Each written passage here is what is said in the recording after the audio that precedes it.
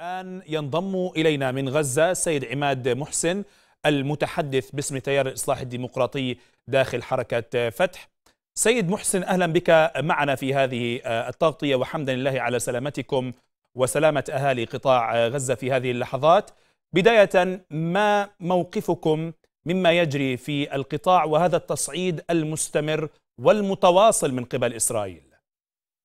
موقفنا في تيار الإصلاح الديمقراطي في حركة فتح وفي الواقع في كل فصائل العمل الوطني والإسلامي في قطاع غزة وعموم الرأي العام الفلسطيني أن هذا عدوان غاشم عدوان غادر بدأ باغتيال غادر لقيادات ولأطفال ولنساء في قطاع غزة دون سابق إنذار وبطريقة فجه ثم تبجح اسرائيلي بأنهم يستطيعون أن يبطشوا بسكان القطاع في الوقت الذي يشاءون ويحددوا هم الساعة التي يبدأون فيها عدوانا أو ينهونه.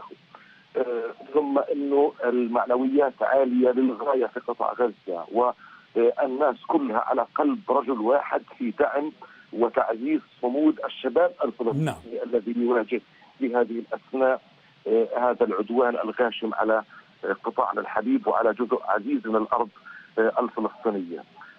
الموقف هو أننا نعرف جميعا أن نتنياهو يحاول أن يصدر ازماته الداخلية ومشاكل حكومته سواء مع المعارضة أو الرأي العام أو مع الأطر القانونية في إسرائيل على حساب الدم الفلسطيني وعلى حساب البيوت الفلسطينية والمدن والقرى والمخيمات وهذا يعني ما لن يسمح به الفلسطينيون تحت أي ظرف من الظروف.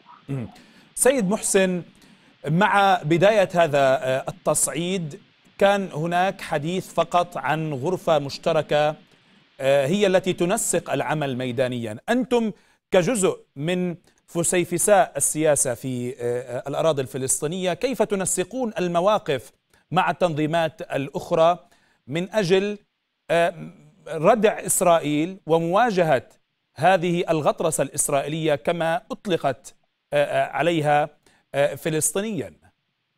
كما هو معروف أن لكل فصيل وطني فلسطيني إطار كامل للعلاقات الوطنية، هذا نعم. الإطار يشبه وزارة الخارجية يعني أو أو دبلوماسية التعامل مع الآخر الفلسطيني، مع الشريك الفلسطيني الموجوده على الأرض وهي مساحة وفضاء يمكن من خلاله تبادل وجهات النظر والآراء والمواقف وتبنيها بل ورثها هذا من جانب. من جانب آخر تقريبا كل الإعلاميين الفلسطينيين وكل الصحفيين الفلسطينيين يشتركون في مجموعات إخبارية لتثبيت الرواية وتعزيز قوة هذه الرواية وتعزيز الجبهة الداخلية والسلام الاجتماعي وتمرير الرواية الحقيقية الصادقة والموضوعية إلى وسائل الإعلام المختلفة بلغات العالم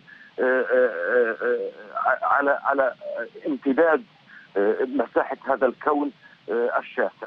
نعم. في جوار ذلك هناك جهد يومي لبلوره وتطوير مواقف مرتبطة أساسا باتجاهات الرأي العام الفلسطيني وبالحضور الميداني على الأرض وبالأوضاع التي يقف عليها المقاومون. سيد عماد محسن في تيار الاصلاح الديمقراطي في هذا التصعيد تحديدا مع الحاجة الملحة والماسة لدعم أهالي القطاع وتعزيز صمود الناس وقفتم في محطات كثيرة بجانب المواطنين في القطاع اليوم كيف تقفون بجانب الأهالي هناك؟ كما تعلمون جهود تيار الاصلاح الديمقراطي تنصب عادة في ثلاثة مسارات.